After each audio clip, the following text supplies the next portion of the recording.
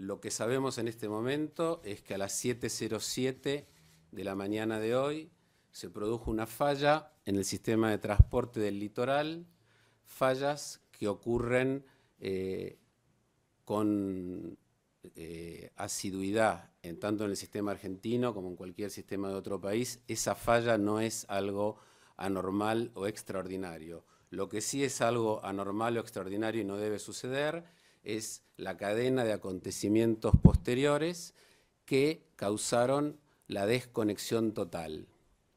Creo que vale la pena aclarar que esta desconexión total se produce de manera automática, son las computadoras que rigen el sistema la que lo hacen, eh, cuando detectan desequilibrios que podrían causar un daño mayor y en milisegundos se desconecta el sistema para protegerlo. O sea, acá no hubo ninguna alerta, no hay posibilidad de que exista ninguna alerta, porque es algo que el cerebro humano no podría detectar, no hay intervención humana.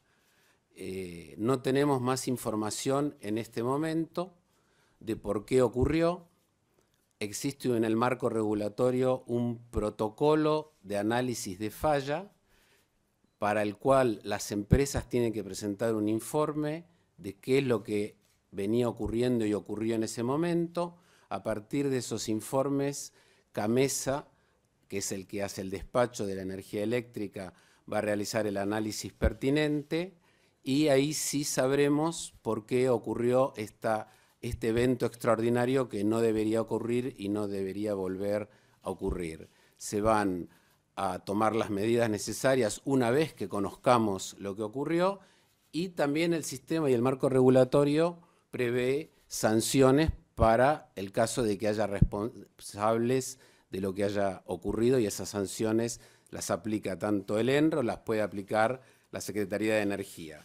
El tiempo de respuesta de los distintos actores del mercado va a dar el resultado. En principio son los primeros, los primeros informes, tienen que estar dentro de las 48 horas, ¿sí?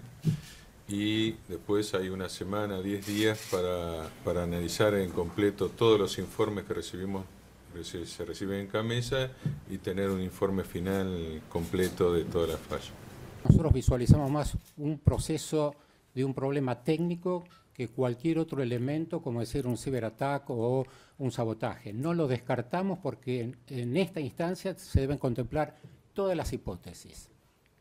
Para nosotros es fundamental determinar Determinar no es algo que uno mire una pantalla y ya tiene datos. Tenemos que procesar miles y miles de información que quedan registrados.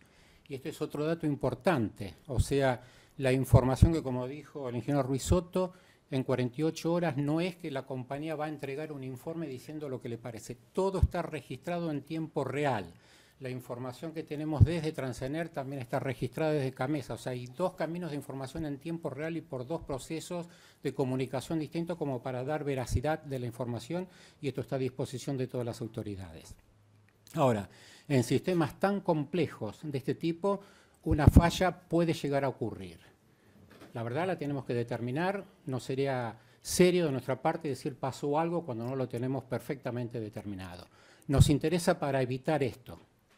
Realmente creemos que el sistema está lo suficientemente robusto, que tiene una capacidad realmente importante, que se vienen haciendo inversiones desde los distintos sectores realmente importantes y nos duele mucho que haya